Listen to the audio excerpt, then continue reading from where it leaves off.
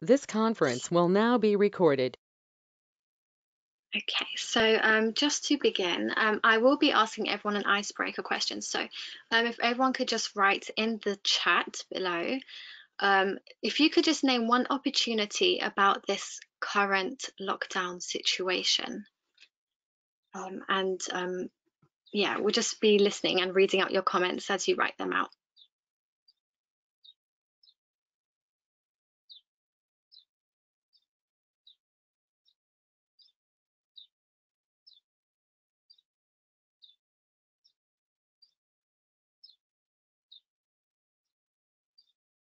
Um, okay, we've received one response. Um, getting an extra hour in the morning to sleep in, do yoga, make coffee, and have a nice breakfast. Yes, that is definitely one opportunity. So not having to wake up a whole hour early just to travel to work. Yeah. Chance to take stock. Um, to spend time with the family. We've had another one, no commute, learning to knit and spend time with family. Most definitely. So a lot of people are saying spending time with family, which is um, definitely a huge opportunity, especially when before the lockdown, it may have been so busy. You know, our lives must have been, everyone has their own thing to do. And now that everyone is at home, you know, we do have that extra time to spend with our families. Um, We've just received another. Knit. Sorry, we just had another one, spending time with family and a chance to focus on self-care. Most definitely. So um, with self-care, um, again, our lives could get so busy sometimes that we just forget to take care of ourselves. So we do have that extra time to just take a step back and just have that self-care and that focus on ourselves for a bit.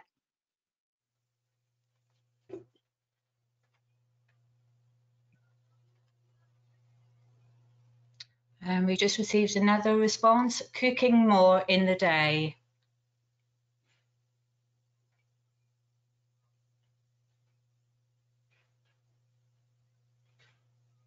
Hello?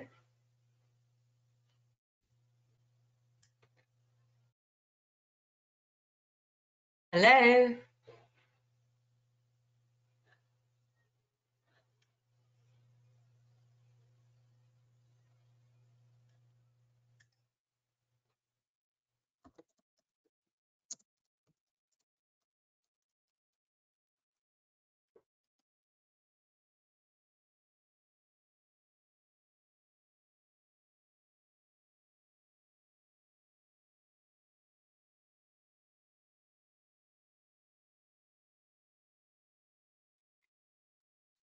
I think I'm having some technical issues at my end. I actually can't hear anyone.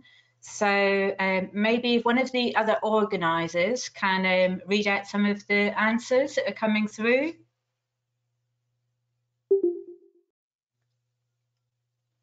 Hi Delia, it's Sarah. Um, so we've had a few more things coming through about making meals with grand um, a granddaughter and being able to teach her that washing up can be fun and not a chore. So um, having the time to actually have fun with things that potentially are normally um, another job to do. I think Melissa's um, I think Melissa's the one who's having the connection issue. So oh, okay. okay. Shall I continue reading out the other answers while we're waiting on Melissa coming back? Yeah, that would be good. Um, okay, let's have a look and see if we've got any more.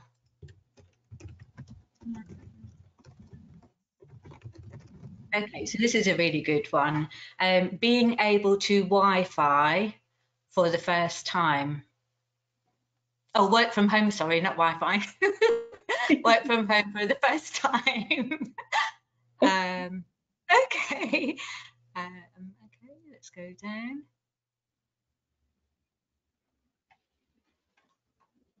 Um, spending more time with cats.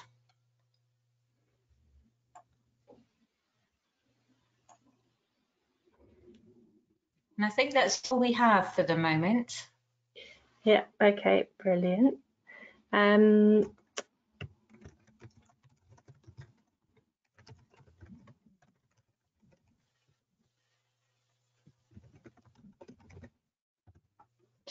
Right, okay. I think Melissa's starting to come back now. Um, it's a shame it's happened right at the beginning. Mm -hmm.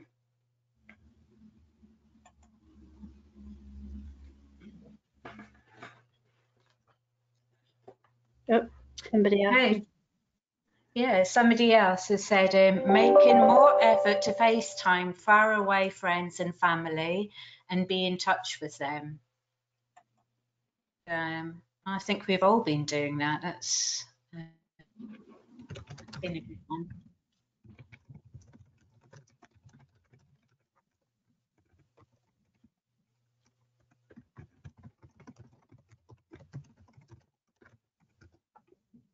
Right, okay. We're just seeing if we can get somebody else to do the presentation now.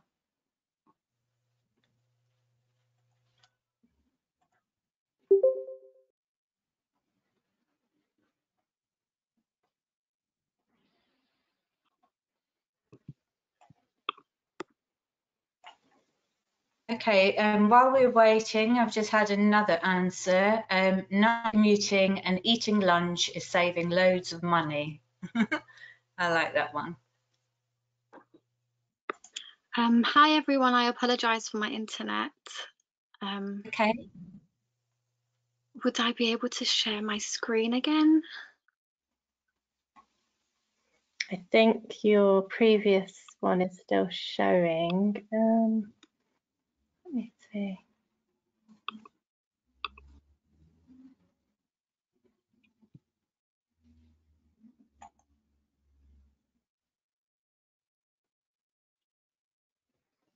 You're still seeing your screen, Melissa. Um, it's on the icebreaker slide.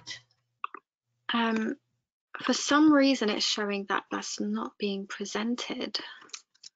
I'm going to turn, I'm going to try something.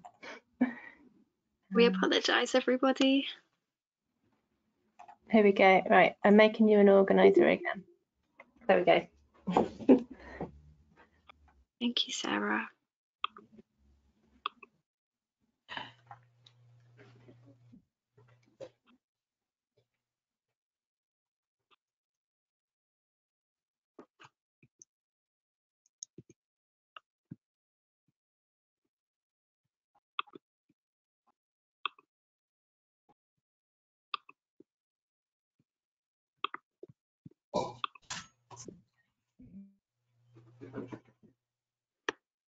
Okay, so um, we will go back to the lethargy cycle. So um, due to this current lockdown situation, we may be finding ourselves stuck in this lethargy cycle, which is this current diagram being presented. So if we start on the left-hand side where there is an image of the earth, this is representing all the negative environmental influences that we are currently surrounded by.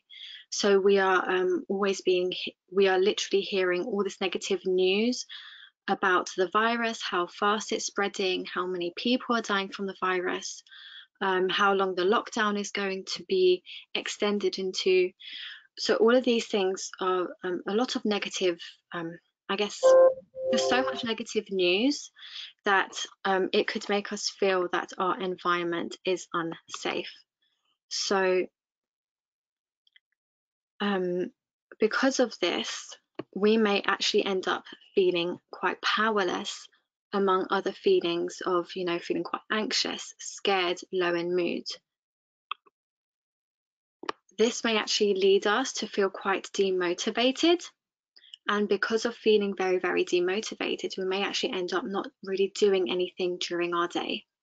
And as a result, we may end up actually feeling very guilty about ourselves for not only feeling all these negative feelings, but for not really doing anything much during our day. And due to this, this may actually lead us to panic about our future.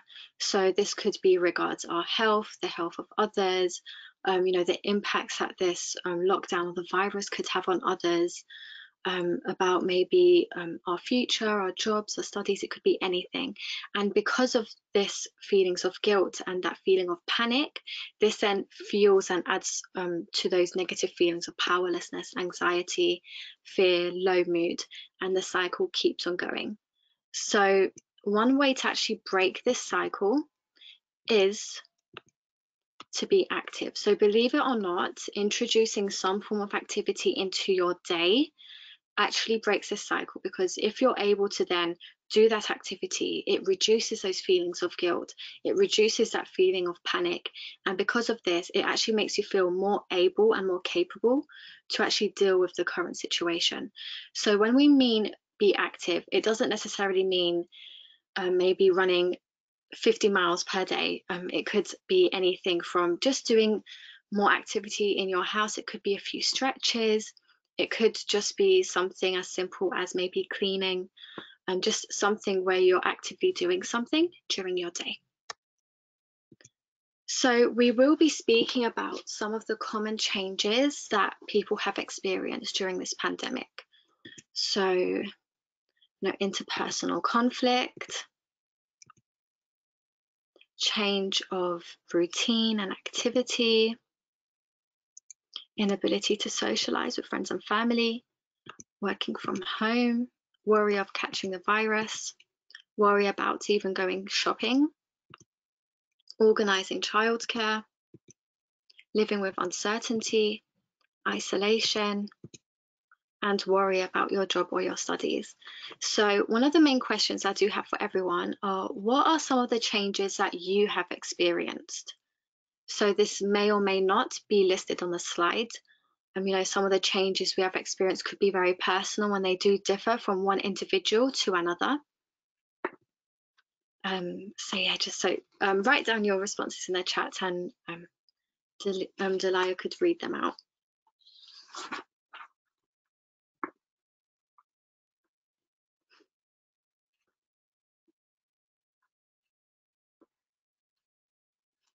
Okay, so um, we have one answer here. It says um, loads of changes, but one of the things I have missed most is not being able to go out for Sunday brunch and meeting friends.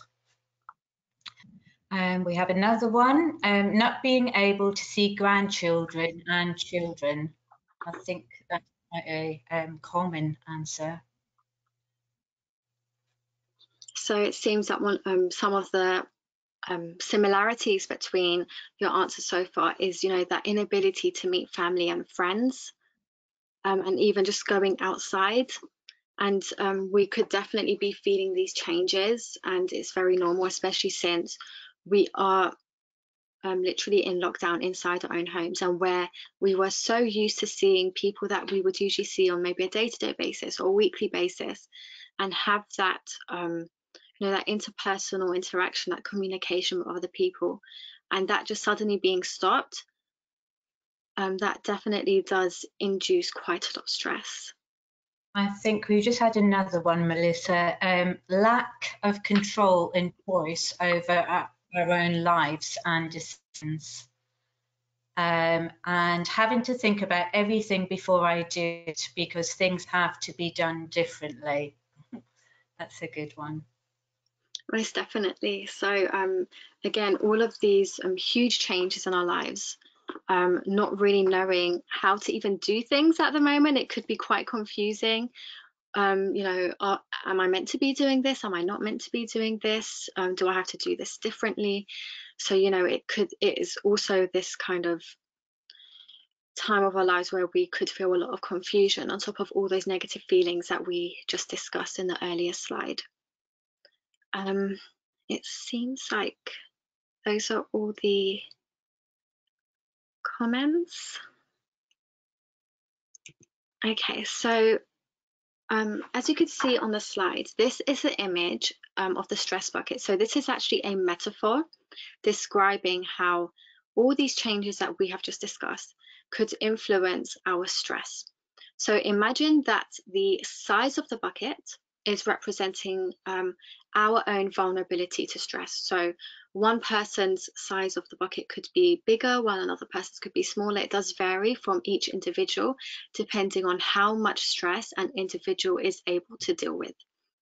So um, imagine that um, in this scenario, water is representing stress. So as the water flows into the bucket, if this bucket begins to become really, really full and the water reaches the brim of the bucket, it would overflow.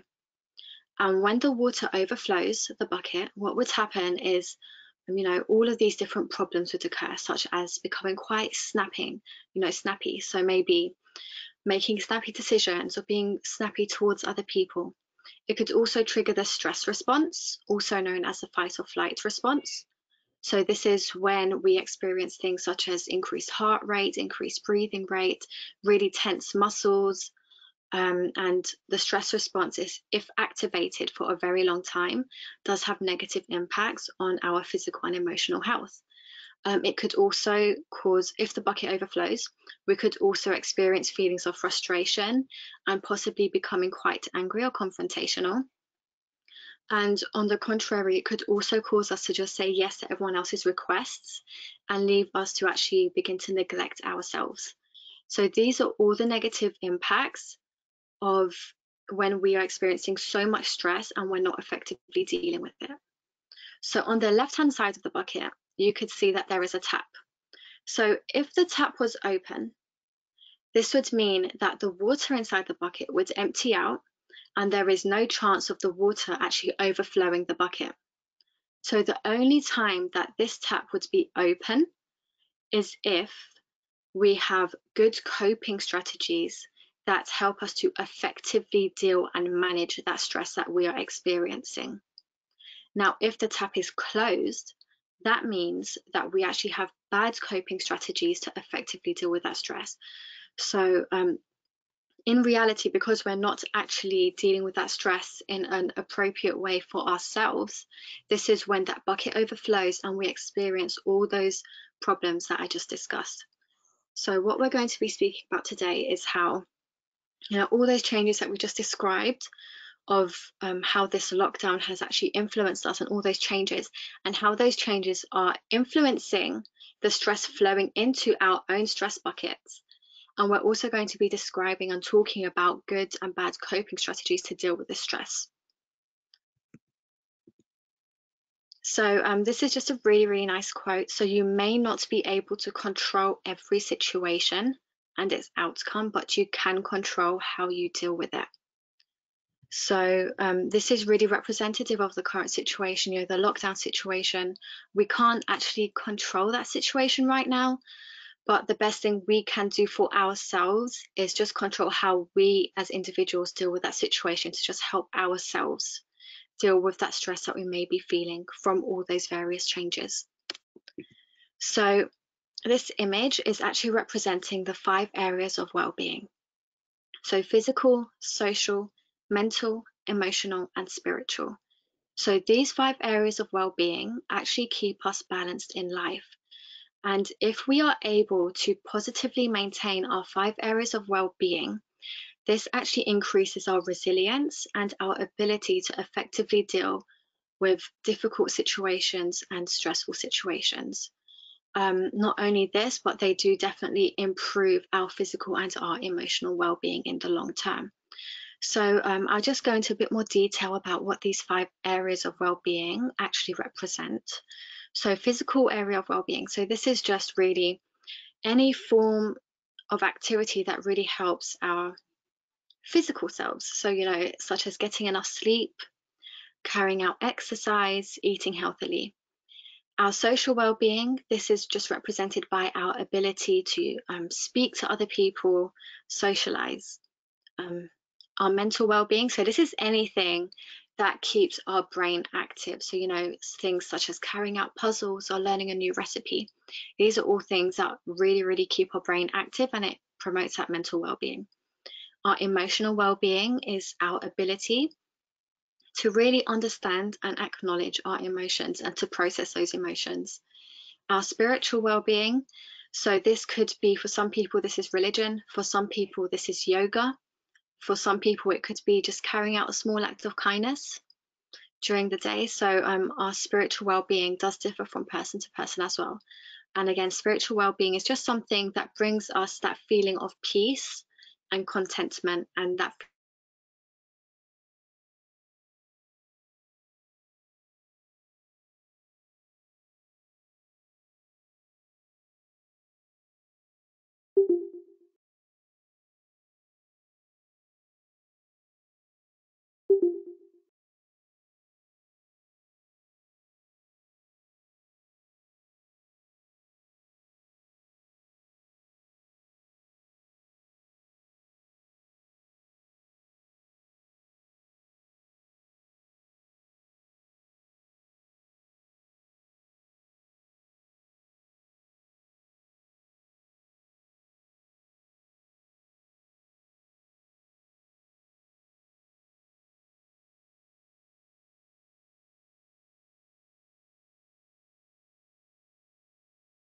Hello everyone, we've lost Melissa's sound again. Um, it's I can see that a few people are asking if it's them. It's not. It's not them. It says, or it's Melissa.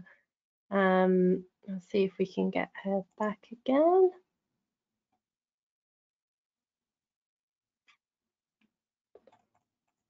Noel, do you think you might be able to keep going for a bit? Yep. Okay. Um, if you want to take over, I'll just sort out the presentation for you in a moment. If you can keep speaking to that slide, that would be great. Okay, so um, sorry, ladies and gentlemen, uh, technical glitches, technical difficulties, but uh, hopefully up, up, up until now, you've been able to um, um, stay with us. We were looking at the five areas of well-being, and uh, with with that, uh, just wondering uh, and just inviting you maybe to to think about which areas for you are are well rehearsed, well practiced, but then which areas may may have been neglected. Uh, where, whereas now during the lockdown, might we be able to develop some of those other areas uh, the five areas, uh, we sometimes use an image with these workshops where uh, the five areas are considered to be pillars. So if you imagine a roof uh, being supported by five pillars, the, the roof is fairly stable.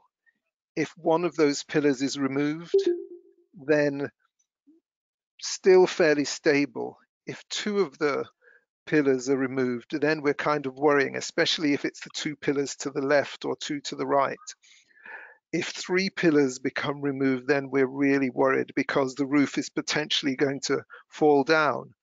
And um, the what what we what we're uh, inviting us to consider is all five of these areas um, actually support your well-being house, your emotional well-being house physical uh, well-being, as Melissa mentioned, sleeping, uh, nutrition, uh, caring for your, for your body uh, is massive. Um, we live in a society where gyms previously were open 24 hours.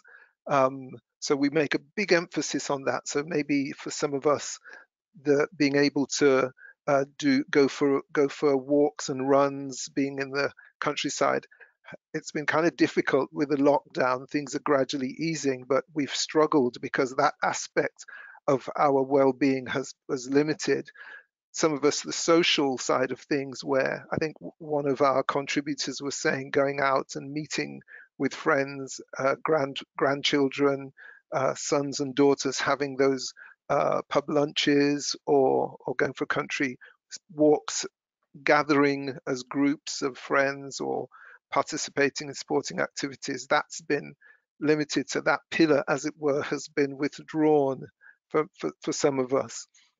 But I wonder if, say, if those two pillars are withdrawn, how we might expand on maybe the other three so that the the the our well-being is still supported adequately by the other three until the ones that are missing are able to be put back in place. So mental, uh, thinking about reading, thinking about learning new skills, thinking about sharing information and ideas with other people, emotional, how often do we take account of our own emotional well-being? Oftentimes the lives we lead are so fast and so intense and so got to get to the next one. I don't have time to think about the last.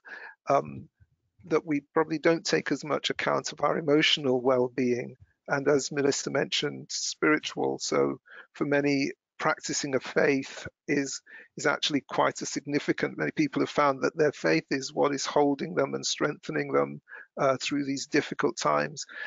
But if a, a, an organized uh, faith isn't for you what about values? What about those things that you believe in and support in? Things around justice things around um, caring for animals, things around the environment. Um, one of the things I know I've noticed is that I haven't heard any aeroplanes in a long while, and I wonder uh, that that's an amazing thing. The skies are just quiet except for birds, and we're, you know, that is uh, spiritual. the dawn chorus. Uh, I've been hearing the dawn chorus over the last few weeks, and that's an amazing thing too. So, to what extent maybe some of those areas uh, uh, that we can develop, the areas that are limited, or those pillars, if you want, that may have been lost due to the lockdown, how might we develop some of those other pillars to to to to bear the weight and to keep us uh, our well-being um, strong and supported? Maybe maybe if if we can get a couple of uh, responses maybe some things that uh, that you can do or have been doing under maybe one of those headings. So choose one of those headings um, and then maybe something that you can do to develop that area maybe it wasn't as strong before that you're learning or something that you've learned over the last few weeks that's allowed you to develop that area for yourself. So give you a couple of minutes to, to just send through some messages to us.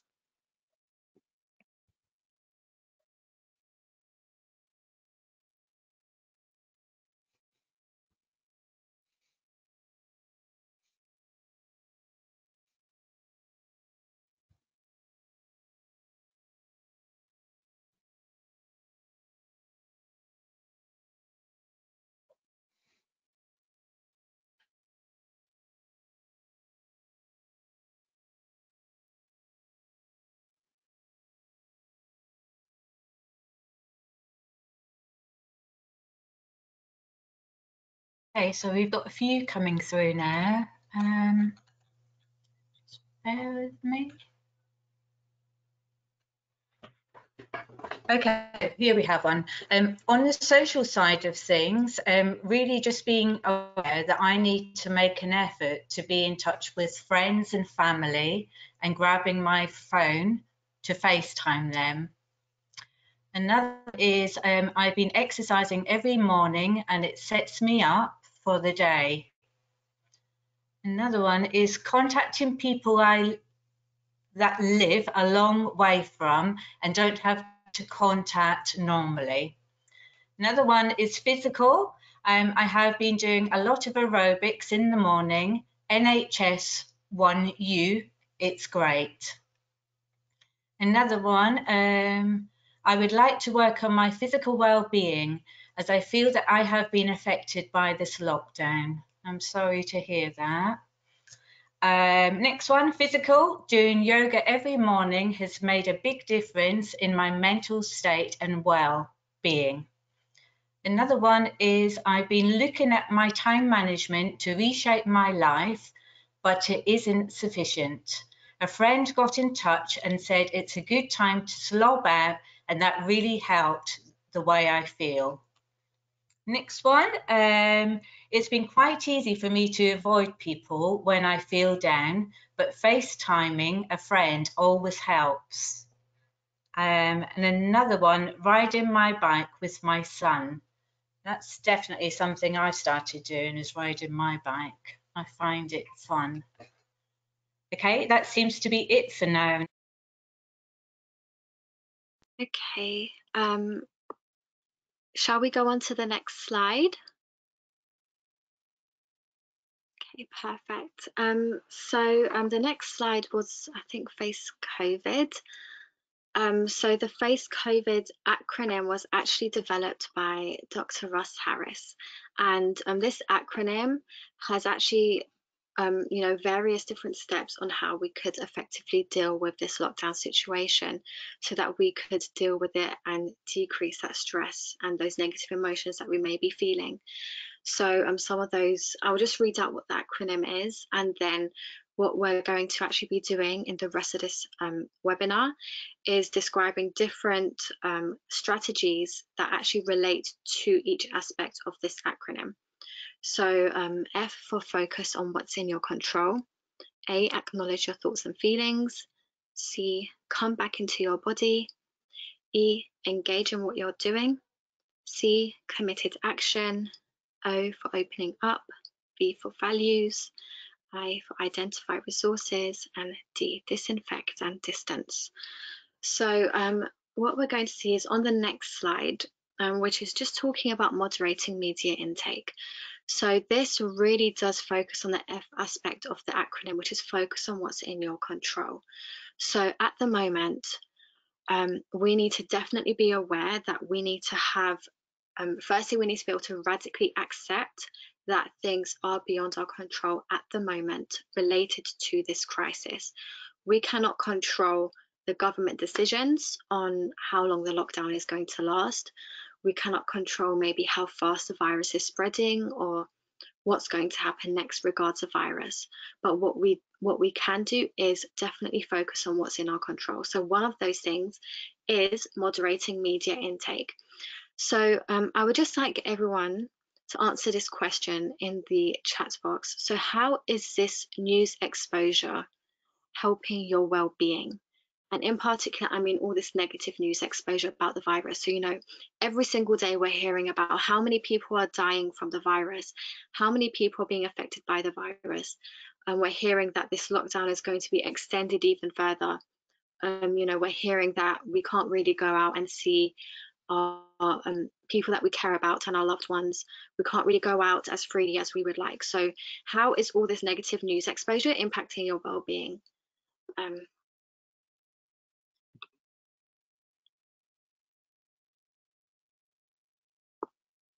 Okay, so we've had one come through so far.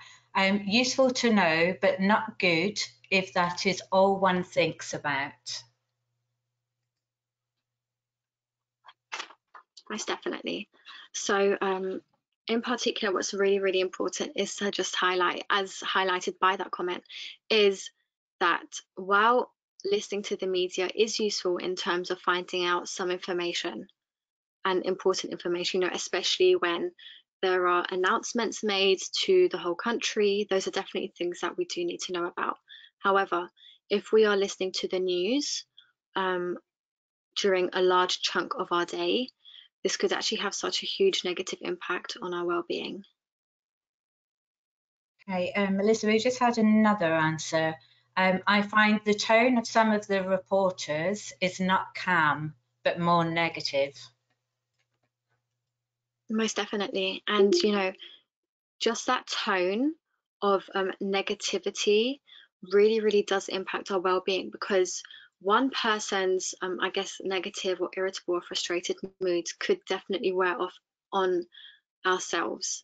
So, um, you know, if we're seeing that negativity and hearing that negativity in their tone, that could also induce even more fear and even more worry or low mood into us. And we've got another two. I think we'll probably stop after that, Melissa. Um, so we have, I try to just read the newspaper in the morning um, and leave it at that. Um, we have another one. I don't watch or read any virus news, but even TV ads are virus related.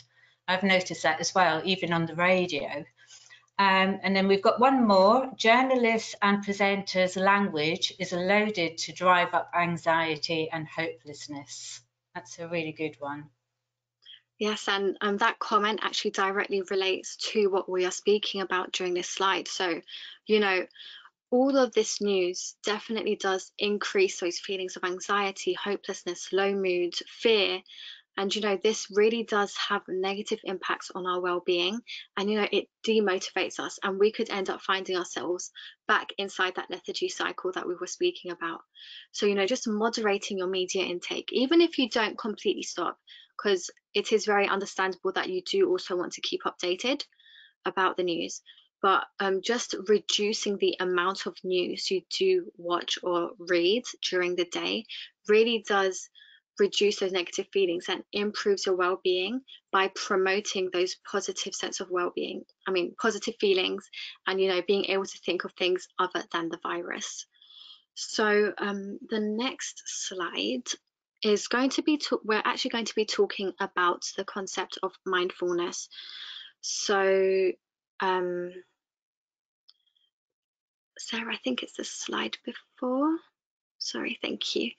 Um, so this slide actually focuses on the ACE aspect of the FACE COVID acronym. So you know, acknowledging your thoughts and feelings, coming back into your body and engaging what you're doing. So um, with mindfulness, the main thing to really think about is due to this lockdown situation and this pandemic, it is very, very easy to find ourselves ruminating about you know the outcome of the situations and experiencing all these negative feelings and because of this ruminating which is ruminating is another word for overthinking about the situation because of this, we may actually find ourselves stuck inside this negative emotional loop. So as you could see on the slide, there is an example of a negative emotional loop on there. So, you know, experiencing negative thoughts influences and causes negative emotions, which causes negative physical sensations and behaviors. So when we definitely do find ourselves stuck in this negative emotional loop, it's very hard to come out of that.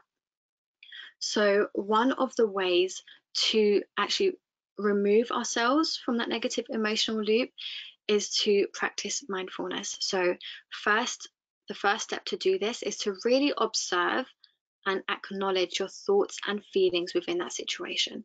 So when you are in that moment where you realize that you're ruminating or experiencing all these negative feelings and thoughts, just take a step back and just observe and acknowledge those feelings and thoughts. What feelings am I experiencing right now? What thoughts am I having?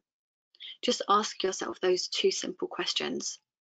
And this really helps to promote an understanding of maybe why you're feeling those things and why you're thinking those things.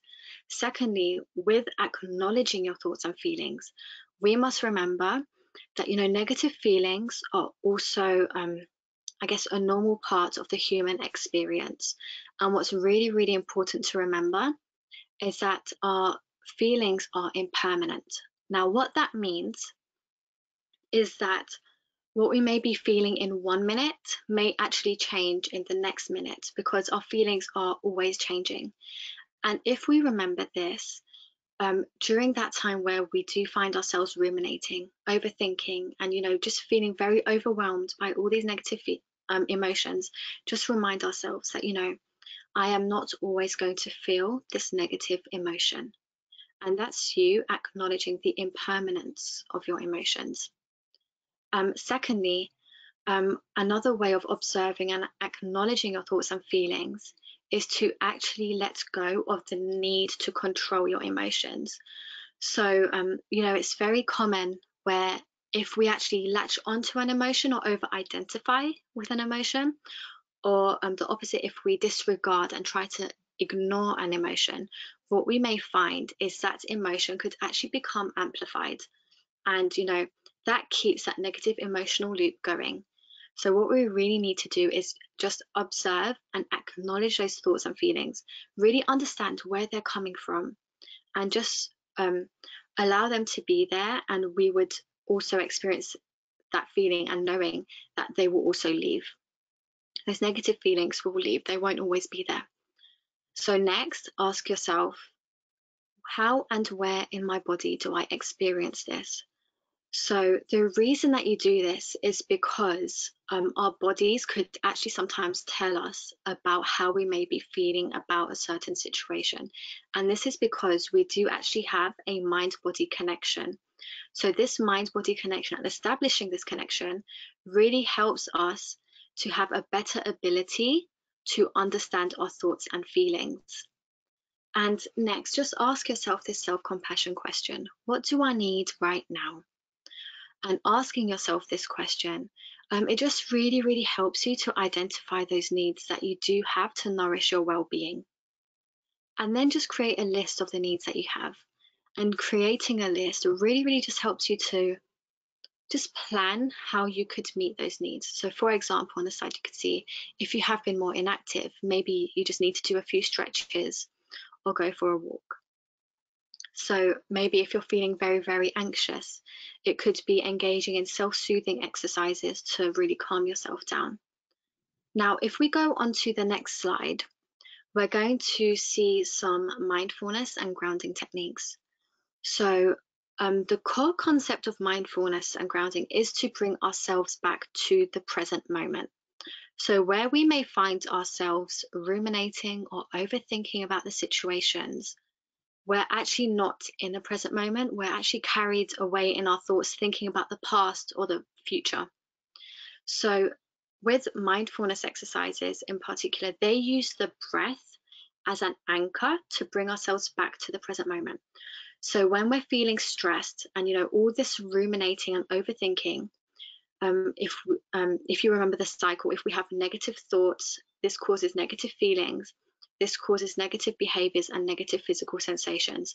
Within that, that would also mean that the stress response is triggered because of all this negativity. During the stress response, because we experience things such as increased heart rate, increased breathing rate, really um, tense muscles, um, through mindfulness and you know doing breathing exercises in particular, if we are able to slow down our breathing by using techniques such as the square breathing technique. This really counteracts the stress response. So through slowing down our breathing rate, automatically our heart rate has to slow down as well. And then our muscles become more relaxed.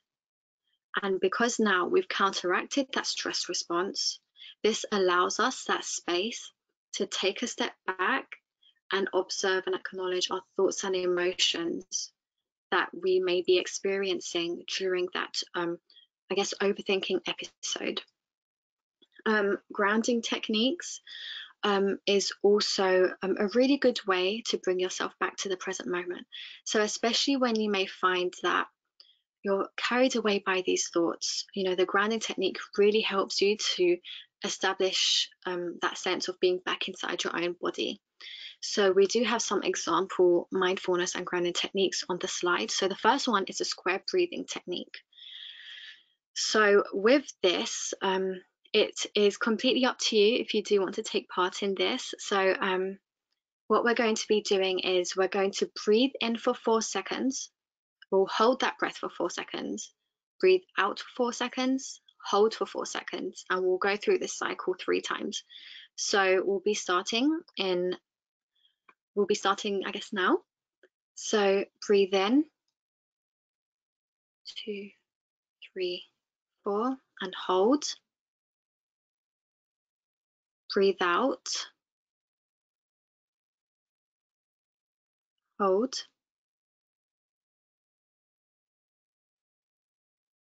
Breathe in, hold. Breathe out. Hold. Breathe in.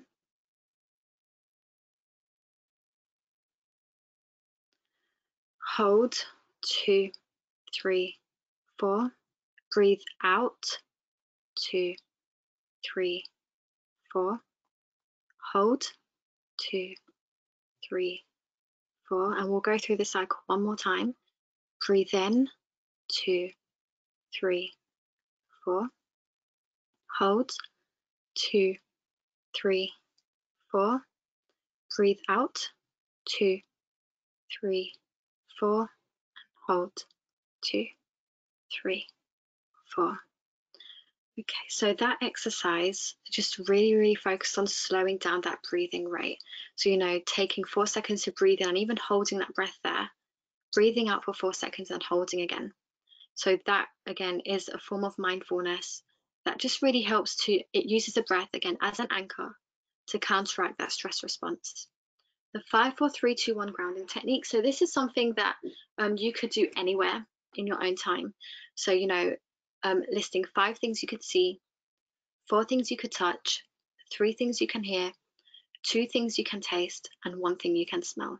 So with this though, the um, key thing to remember is that you're not just stating the things that you could see, touch, hear, taste, and smell, but you have to describe them in a lot of detail. And what this does is because you're really describing it in detail, you are now engaging your brain. And because you're engaging your brain in that exercise, it immediately stops that process of overthinking and ruminating and it's bringing you to focus on your environment and the present moment. And again, it brings you back into your body because these are all um, things that you experience with your five senses. Okay, so if we go on to the next slide.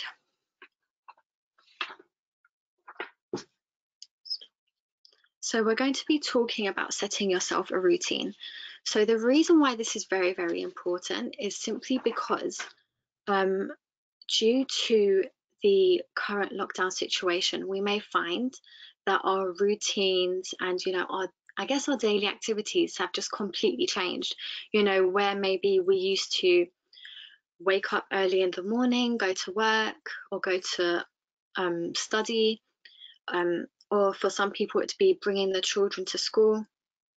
Um, it changes from person to person, but you know, going about our daily routines, and now suddenly that has all stopped, and we now have to be able to adapt to what our lives are now. You know, for maybe um, working mothers um, and fathers, you know, who maybe used to go to work and their children used to go to school, now maybe working from home and taking care of the children must be a very, very difficult task. So, um, you know, these are all different things that have changed and we have experienced that change of routine and we need to be able to adapt to it. But setting yourself a routine now during lockdown is just a really, really useful way of bringing back that sense of normality. So even if it is not the exact same as your routine before the lockdown, um, your new routine routine could actually incorporate all those adaptations that you have needed to make um, to you know fulfill all those different needs that you now have to think about. So, you know, with this, really focusing on planning your day with priority tasks as well as fun activities. So, the reason for this is because if you only do priority tasks, sometimes with priority tasks could be quite boring and you don't really look forward to your day and you're just like, ugh, I don't really want to do this all day.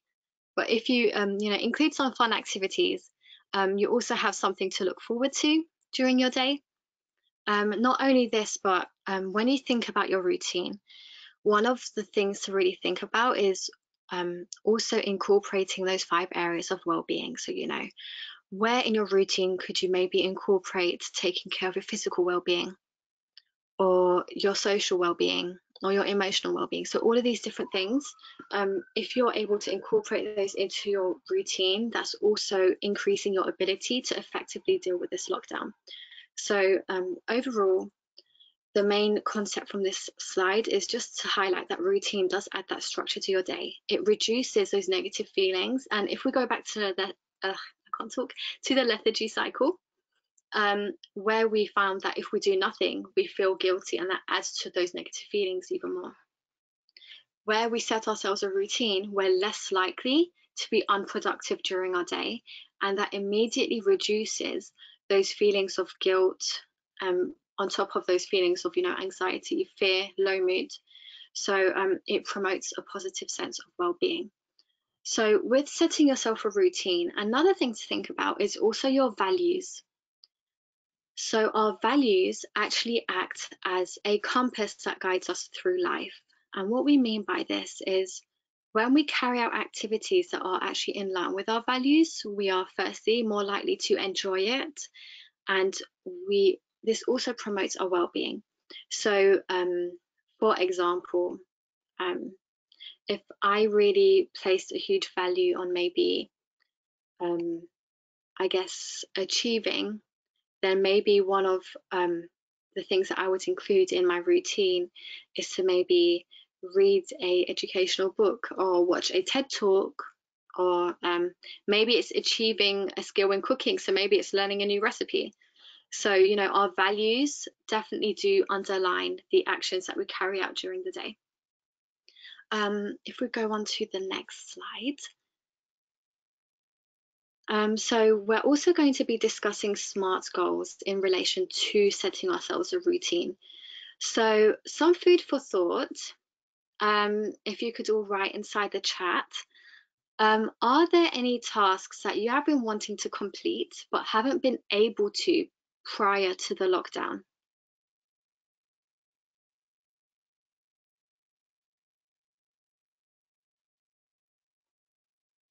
Okay, um, while we're waiting, Melissa, I definitely have one I'd like to share. Um, I've managed to um, um, kind of get my balcony decorated so I can sit out there and enjoy some of the sunshine that we have. So that's really good. Right, we yeah, have another um, deep clean. Um, it's another one. And another one is time to read a book. Another one is haha, spring cleaning for sure. I think we've all been cleaning out the cupboards and um, Most definitely. Finding all sorts of things. Definitely. So, you know, um, deep cleaning, spring cleaning, um, sorting out your balcony, all of these things are things that maybe we were actually putting off um, doing prior to the lockdown because our lives were so, so busy. And now we actually do have that time to do that. Um, there's another one more bike rides as good exercise while still staying distant from other people. Definitely. So, you know, being more active um, and engaging in more physical activity. So all of these things are actually um, just examples of activities and tasks that we are actually able to do now um, compared to things that we were actually unable to do before. And what's really important is if maybe there are more things and more tasks that um, you did want to do before, but you still haven't been able to complete, then maybe um, using SMART goals as a way of achieving those. So, you know, with SMART goals, this really means um, making your goal specific. So, what exactly is it that you want to do? Making it measurable. So, how are you going to quantify, um, I guess, that task or that activity? Um, attainable and relevant. So, um, is this goal realistic? Do you have the, um, I guess, the resources to carry out the activity and is it relevant to you? Also is it in line with your values? Um, and time based you know um, give yourself a deadline of when you would like to complete the task. But with this also be very very careful and make sure that your smart goals are definitely achievable. Um, you know don't make them so unrealistic that when that um, time comes in which you should have completed it um, you haven't completed it and then that causes more negative feelings.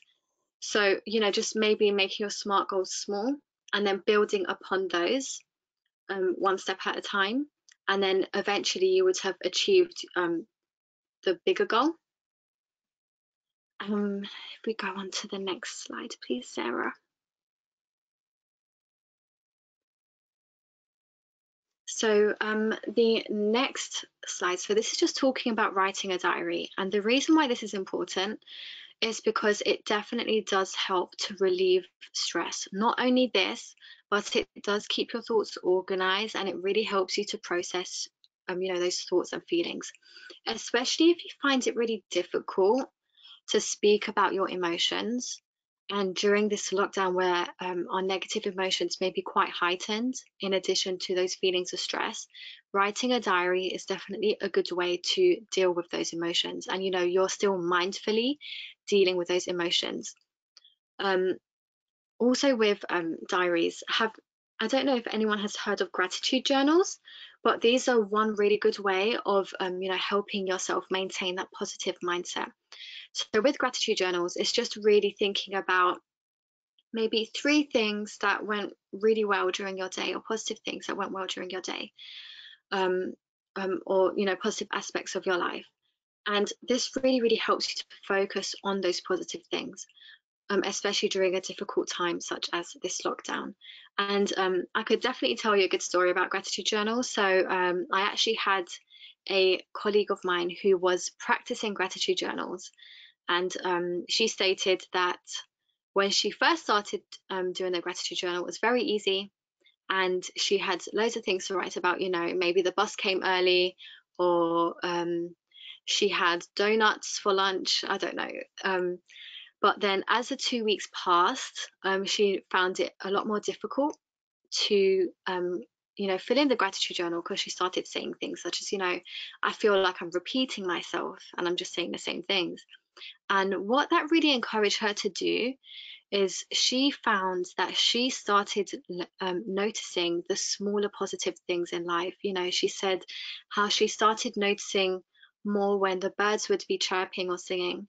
Um, she would um, maybe notice things that she never noticed before, and she would be grateful for even the smallest things, such as being able to see. Um, so, you know, it really, really encouraged her to maintain that sense of positive well-being. Um, so, hopefully, um, you all definitely find the that I guess a very sim, I guess a positive experience with writing a diary or gratitude journal too. Um, the next slides, please, Sarah.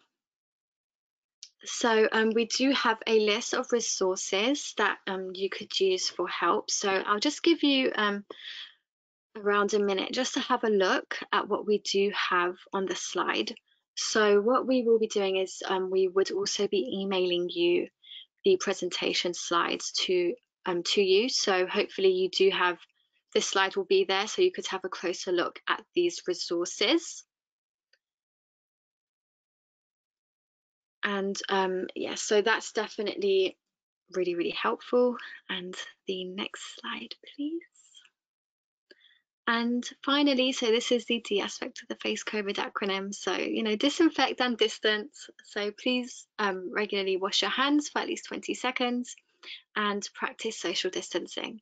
And, you know, um, food for thought, actually practicing these two simple things is definitely in line with the value of kindness because not only are you um, caring for your own health, but you're caring for the health of others as well. And um, thank you. If you have any further questions, please um, email us at wandsworthwellbeing at swlstg.nhs.uk. I hope you enjoyed the presentation. Thank you, Melissa. That was wonderful. Thank you. Thank you so much. And I apologise again for my internet issues to everybody. We've had a um, few comments here. So thank you, Melissa. Um, and thanks so much from someone else. Um, thank you. Can we have the slides for reference? I think you've confirmed that you will be sending those. Yes, most definitely. I'll be emailing you all the slides. Fantastic.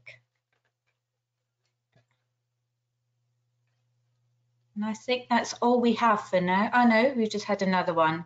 That was very helpful. Thanks. Thank you so much. Um, and if you do have any questions, please feel free to ask now.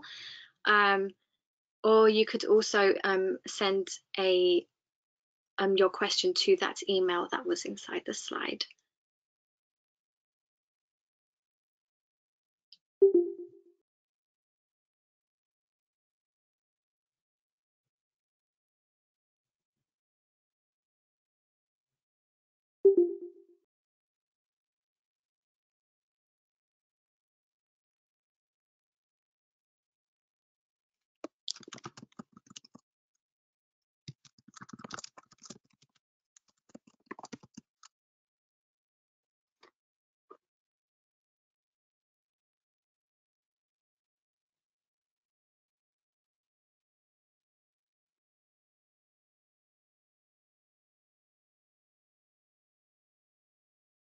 Hi Melissa, I've got a question. It's Sarah. Um, are you going to, have you got other workshops that people can sign up to on the website? Um, yes, definitely. So um, if you search Talk Wandsworth um, in Eventbrite, what you would come across is the various different workshops that we are offering at the moment via telephone. Um, so um, it is one-to-one -one at the moment due to the lockdown situation. Um, so we do offer a huge variety of different workshops such as self-care and relaxation, self-confidence and assertiveness, managing anger and irritability. Um, oh, there's so many, I can't even think of all of them. We do also have long-term conditions workshops, um, such as um, managing well-being with chronic pain, with COPD, with um, heart disease, we also have a coping with stress workshop, um, reaching your potential workshop, and many, many more. Um, I could also um, send a link to our Eventbrite page while I, um, when I send the, um, the attachment of this presentation. We do also have a preparing for parenthood workshop